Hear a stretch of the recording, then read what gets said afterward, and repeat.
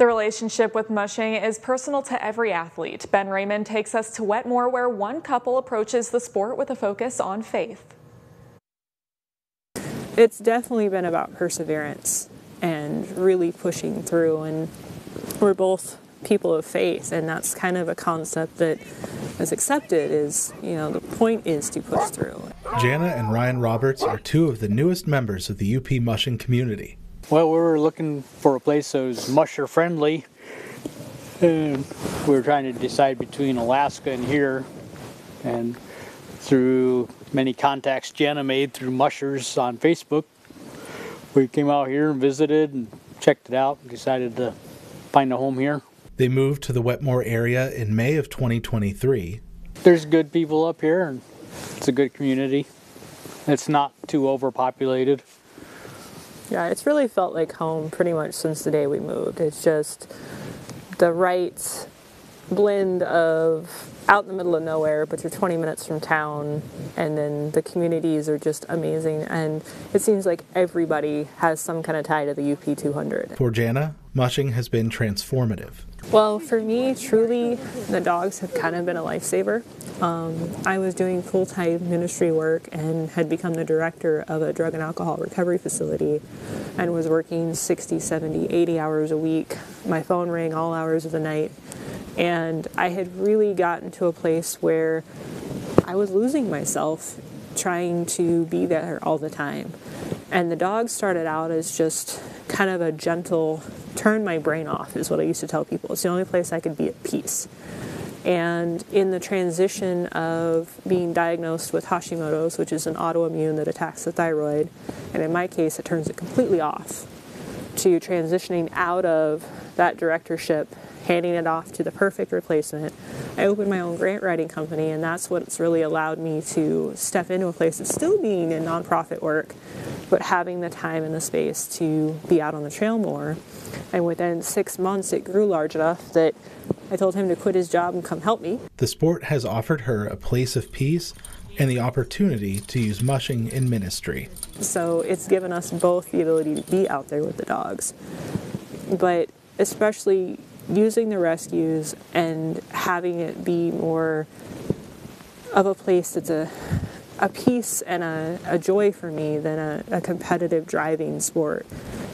It's really helped me heal internally. I'm noticing beyond amazing healing, and then also being able to touch and impact lives. Both were training for the Midnight Run, their longest race to date. I try to be competitive.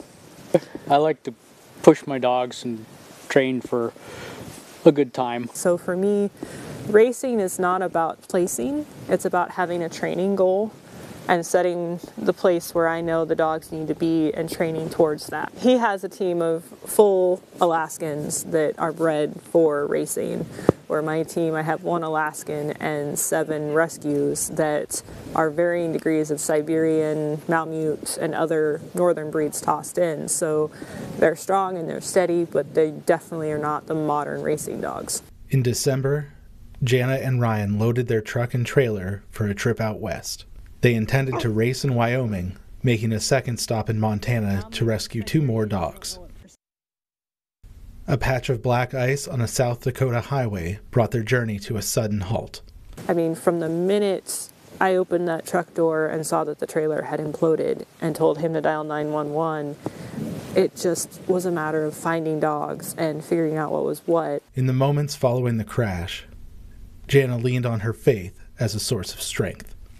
I had to start praising him in the moment that I, I truly, when I opened that truck door and looked to see the trailer imploded like that, I figured I was pulling dead bodies out of every crate. Like there, there was no way in my mind that we had dogs alive besides the two that were in the truck.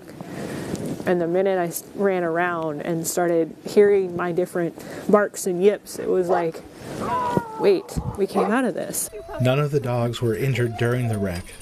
All but two were accounted for that night, with one being welcomed back to the pack the following morning. Ryan was seeing bigger picture and that we needed to get the team home, get settled, regroup a lot faster than I did. I wanted to stay and find that last pup. But the third day that we were out and had gotten a call that he had been seen, I was literally within 10 feet of him and with a dog he knew, had spent months being raised with. And he looked right at the dog, could have easily known that was his friend at safety, and he took off the other direction. And that was the moment for me that really kind of released the fact that there was nothing we could do. Faced with a difficult realization, Ryan and Jana returned home. Rather than sit out the rest of the season, and despite missing weeks of training, Ryan and Jana found the resilience to mush on. The biggest blessing for me is that all these dogs are safe. You know, they're they can go on the trail. You know, they they are excited to see their harnesses, and they didn't balk when I asked them to load back into that trailer. You know, into those same boxes that they had ridden through hell in. There was no hesitation. They followed us right in and loaded up and came home. And that is just a relationship that you can't replace.